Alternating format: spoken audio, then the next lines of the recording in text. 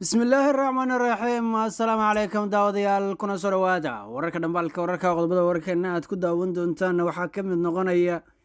ciidanka deegaanka iyo sidoo kale kuwa liyu boolis oo laga cabsi qabo inay gacan adag loo tagaan. Ciidamada koonfur galbeed ee ku sugan aagga magaalada ceel berde waxaan idiin soo gudbin doonaa guulaha deg dega ah ay kala sheegteen labada dhinac. Xasan sheekh maxamuud oo ku wajahan magaalada garowe iyo diidmada siciid cabdulaahi deni oo cirka isku shareertay dagaalka a c oo weji kala yeeshay sidoo kale puntland oo xaqiijinaysa caawa mid ka mid ah labadii guuleed ee ugu ballaarnaa ee ay ka gaartay dagaalkaas kana faa-iiday kala go-i s c iyo somalilan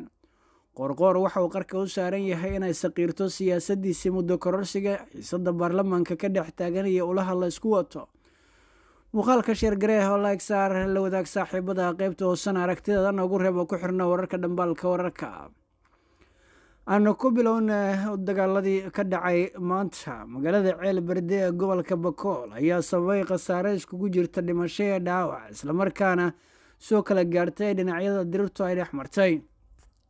Wararkaanu ka helayna magaalada ceel berde ayaa waxay xaqiijinayaan in ciidanka dowladda deegaanka soomaalida iyo sidoo kale ciidanka dadka deegaanka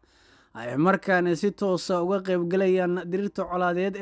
ee diriirta colaadeed ee magaalada ceel berde ee gobolka bakool iyadoo weliba ay isku bedeshay markii dambe dagaal qabaa-il oo kala ah raxan weyn ogaadeen waxayna si toosa iskugu bedeshay markan ciidankii ka yimid magaalada baydhabo. Iyo sidoo kale ciidamadii ayaguna ka soo tilaabay dhinaca gobollada dariiska la ee dowladda deegaanka soomaalida iyadoo weliba dhaqdhaqaaqyada ciidan ay yihiin kuwo saacadihii ugu dambeeyey si weyn. Gurmadyada looga dareemayey magaalooyinka hoostaga ah dhinaca degmada ee dhanka dowladda deegaanka soomaalida. Cutubyo ciidan oo ka tirsan ciidamada sida gaarka u tababaran ee liu bolis ayaa waxay ka caroodeen tillaabadii maanta ay qaado koonfur galbeed soomaaliya iyagoo sheegay weliba in tani ay tahay mid tala lagu sameeyey lana doonayo in si isirsifayna dadkaasi looga riixo degmada ceel berde ee gobolka bakool waxaa dagaalkani uu ka qaraxay gabar la kufsaday islamarkaana deegaan ahaan ka soo jeeda dowladda deegaanka soomaalida iyadoo weliba uu dhalay sarkaal ka tirsan qeybta lixdamaad ee militariga soomaaliya. Waxay markii hore xiisadu ay ka dhex qaraxday militariga iyo sidoo kale ciidanka dowlad goboleedka koonfur galbeed. Balse ugu dambeyntii si toosa ayay qabiil ugu xuubsiibatay waxaana la arkayey gulufyo kala duwan oo ka imaanaya dhinaca dowladda deegaanka soomaalida kuwaasoo sheegay inaynan aqbali doonin in dadkooda la dhibaateeyo. Sidoo kalena waxay sheegeen in ay guud ahaanba gacanta ku wada dhegi doonaan degmada ceel berde ee gobolka bakool yeed caato iyo dhammaan deegaanadaasna ay noqon doonaan kuwo si toosa gacanta loogu dhigo. Madaxweynaha dowladda deegaanka soomaalida mustafa cagjare ayaa horey waxa uu mar iskugu dayay in uu gacanta ku dhigo guud ahaan deegaanadaas balse xilligaasi siyaasadda dowladda federaalk oo aan sal fadhido lahayn iyo sidoo kale in ay jirtay booqasho madaxweynaha koonfur galbeed uu ku tegay dalka etoobiya ayaa dib u dhigtay qorshihiisii iyadoo weliba. Sidoo kale uu socday kacdoon weyn oo guud ahaan dalka gaar ahaan gobollada dowlad deegaanka la dariska ah lagu xoreynay waxauna xilligaas go'aansaday in uu tillaabadaasi dib u dhigo si aan loogu fahmin looguna qaadanin in uu yahay shaqsi isagu dhabarjabinaya howlgallada xoreynta ee ka bilowday soomaaliya gaar ahaan dhaqdhaqaaqyada gobolka hiiraan. Haddase madaxweyne mustafa cagjar waxaa u furan in uu cagta marayo dhammaan deegaanada islamarkaana uu hal mar fasaxo kuminaanka kun ee ciidamada dowladda deegaanka soomaalida ee dhowaan la baabi'iyey islamarkaana ku sugan deegaanadaasi iyadoo weliba ay noqdeen ciidan hubaysan oo dadka deegaanka u xubsiibtay waana ciidamadii liu bolis ee la kala diray kuwaas oo xuduudaha hore ugu sugnaa. Dowladda deegaanka soomaalida ayaa xiriir saraakiisheeda aanu la sameynay waxaay sheegeen in dadka deegaanka guulo la taaban karo ay ka gaareen dagaal ay sheegeen in la galeen maleeshiya cabdicasiis lafta gareen ka qayb qaadata ka amar qaadata dhinaca kalena koonfur galbeed xiriir aanu la sameynay saraakiisha ciidanka daraawiishtu. Waxay sheegeen inay iska caabiyeen ciidan huwana oo militariga iyo sidoo kale maleeshiyaad ka yimid dhinaca etoobiya iskugu jiray. Labada dhinac midba midka kale ayuu fogeynayaa khasaaraha dhimashada iyo dhaawaca ayaa warar kala duwan ka soo baxayaan. Halka tirada dhimashada ah ay wararka qaarkood tilmaamayaan in ay gaaraysa ilaa toddoba ruux halka wararka qaarkoodna ay ka dhigayaan toban ruux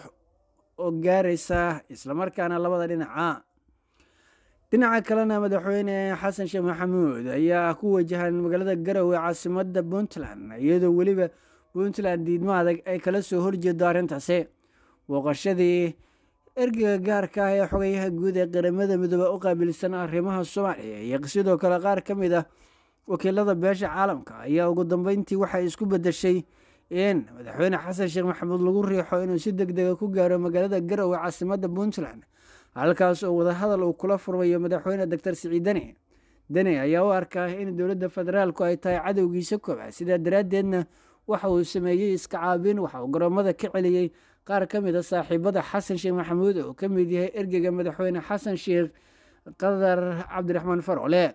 oo ka soo jeeda magaalada garowe caasimada puntland. Sidoo kale waxaa weli taagan dhaqdhaqaaqyada iyo xiisadda jenaraal jimcaale iyo ciidamadiisa ciise maxamuud ee ku sugan magaalada garowe iyo deegaano ka tirsan gobolkaasi. Madaxweyne xasan sheekh maxamuud ayaa ka qeyb qaadan doona laba arrimood oo kale ah in xal loo raadiyo dowladda federaalka iyo sidoo kale puntland khilaafkeeda iyo sidoo kale in xal loo raadiyo khilaafka puntland gudaheeda ee ku aadan doorashada godob jiiraan dangoroyo iyo sidoo kale garowe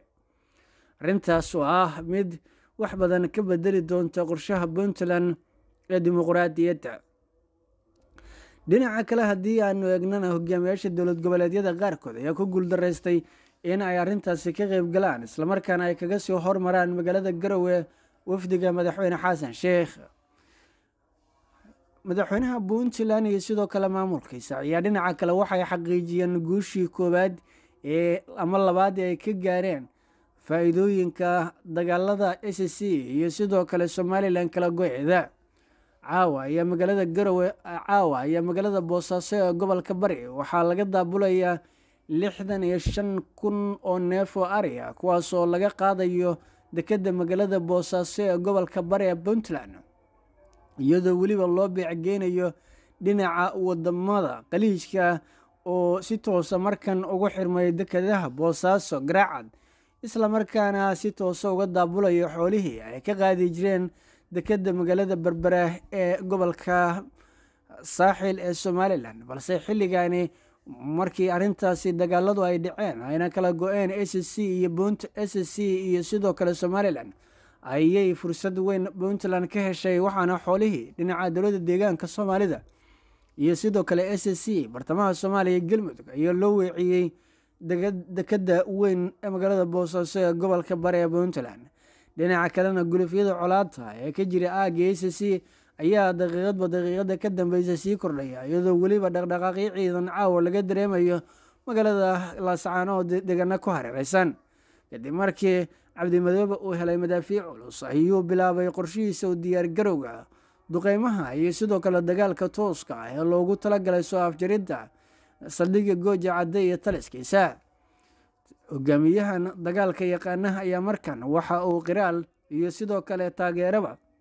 qorshihiisa iyo guulaha uu gaarayba u muujinaya siyaasiyiin saameyn badan oo ku leh puntland. Waa siyaasiyiin saameyn weyn ku leh somalilan oo ka mid yahay cali yuusuf oo lagu tiriyo ragga loo aqoonsaday mujaahidiinta ee somalilan iyadoo weliba daqiiqadihii ugu dambeeyey si weyn baraha bulshada looga hadalhayay mahad cabaashe iyo sidoo kale cabdi madoobe qorqoor ayaa markaan qarka u saaran in siyaasadiisii muddo kororsigu ay saqiirto kadib markii ulaha iyo sidoo kale cagadaha biyahaba ay isku qaateen xildhibaanada golaha shacabka ama golaha wakiilada ee dowladda galmudug kuwaasoo saacadihii ugu dambeeyey ku muransanaa indisa sharciyeedyada ay ka midka yihiin isbeddel lagu sameeyo dastuurka iyo sidoo kale qorshaha la xiriira muddo kordhinta hay'adaha kacdoon siyaasi ah oo golaha shacabka ama golaha wakiilada ka bilowday ayaana laga cabsi qabaa in uu galaafto madaxweyne axmed cabdi kaariyo qoorqoor oo asagu markaani tigidada u sii aasaya sidii kursiga uu ku sii joogi lahaa uguna naloon lahaa nacfiga siyaasadeed ee iyo sidoo kale awoodda uu hayo ee dowladda galmudug. Wararkaanu helayna ayaa tilmaamaya in caawa kulamo ballaaran ay ka socdaan magaalada xarunta galmudug ee dhusmareeb halkaas oo ay ku shirayaan xildhibaanada golaha wakiilada ee maamulkaasi kuwooda mucaaradka halka sidoo kale muxaafidkuna ayaguna ay la tacaalayaan sidii ay iska caabin ay ugala hortegi lahaayeen dhinacyada mucaaradka ee ka soo horjeeda in la meel mariyo hindisaha wax looga bedelayo dastuurka maamulkaasi islamarkaana lagu sameynayo qorshe walba oo ay meesha ku sii joogi doonaan golaha wakiilada iyo sidoo kale madaxweynaha iyadoo weliba intaas ay sii dheer tahay. In galmudug ay ku marmarsiinayso qabashada doorasho qof iyo coda iyo jaantus cusub oo lagu sameeyo nidaamka la xiriira xagga xisbiyada iyo sidoo kale ururada siyaasadda. Haddii daawada aa nagu cusub tahay falowgare oo sheergaree bejka si marwga wararkeena ay kuusoo gaaraan ku xirnoon wararka dhambaalka wararka waxaana goordhow wararkeena xiga aanu ku soo qaadan doonaa xaaladaha dhinaceel berde iyo sidoo kale xuduudda dowladda deegaanka soomaalida iyo sidoo kale koonfur galbeed oo warar cusub ay ka soo baxayaan. Nabadgelyo bismillaahi araxmaan iraxiim assalaamu calaykum daawadayaal kuna soo dhawaada wararka dhambaalka wararka qodobada wararkeena aad